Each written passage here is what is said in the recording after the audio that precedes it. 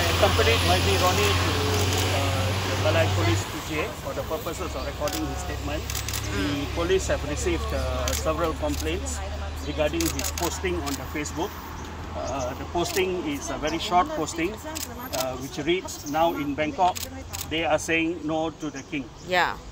So for that uh, complaint, they are investigating. According to the investigation officer, they will be arresting uh, YB Ronnie for the purposes of further investigation.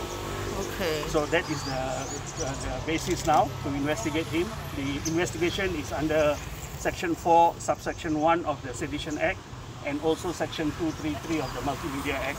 Okay. And uh, there is a possibility he may be released this evening if they can complete the investigations This within the evening time. ah.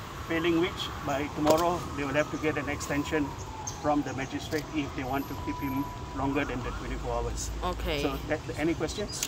Uh, is, is the police taking away his any any of his uh, mobile phone or tablet? No, at the moment he has his mobile and he has his tablet with him. But uh, we do not know later on how they decide on that. Jadi YB dia rasa dia salah dah sebab kata dia Tak memang ada, pentek. Tak ada, tak ada mengaku salah. Tidak. Eh, Tidak ada apa-apa kesalahan kalau kita lihat dari segi uh, perkataan yang digunakan dalam posting Facebook. Okey, ka- ad- adakah YB dia kata motif dia tulis begitu? Apa? Motif dia untuk kenapa No, no, dia tidak, tulis Itu tidak uh, ter, uh, terbabit sekarang lah. Ya? Motif itu tidak jadi isu. Uh, what's the ground of the police uh, decided to arrest YB since As he I said, we are voluntarily looking came? under Section 233 and also Section 4, Bracket 1 of the Sedition Act. Yes? How long? Like I said, maybe by this evening they will release him if they can complete Jadi the investigation. Jadi sekarang ada peguam dalam tak ada? Tak ada, tak ada. Dia satu orang saja lah. Hanya YB Ronnie sahaja. Hmm. Ya. How, how long he will rest after you hold the images? 30 minutes? two minutes? Straight away, within within few minutes they mentioned they need to arrest him. Hmm. Yeah, before they started recording the statement, they already mentioned they need to arrest him.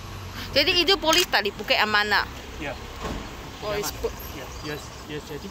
Yeah. US jadi? Unit Siasatan Jenayah Tangkap? Tidak, saya tidak dimaklumkan.